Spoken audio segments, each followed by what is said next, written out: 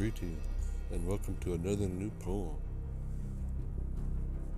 This one was made last night, February 8th, 2024. It's called The Winds of Time and Love and Light. Alright, so here we go. The winds of time and love and light. The winds of time, oh, the winds of time. They are a blowing once again. The winds, oh, the winds of time, are blowing all about. Everywhere, swirling as it's swirling and paralleling across time and space. All across the skies it dances and prances as blows through evermore.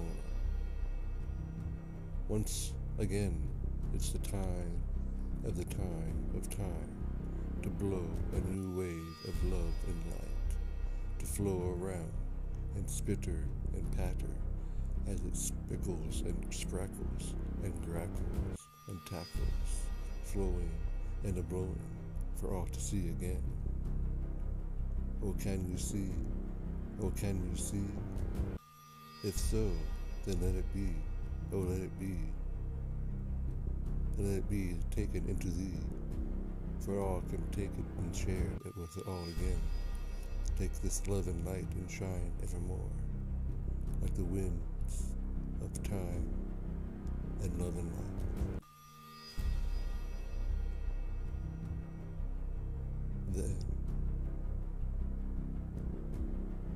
Thank you for listening. If you like this poem, leave a comment, thumbs up, share, and everything like that. Thank you for listening. Thank you for your time. I appreciate it.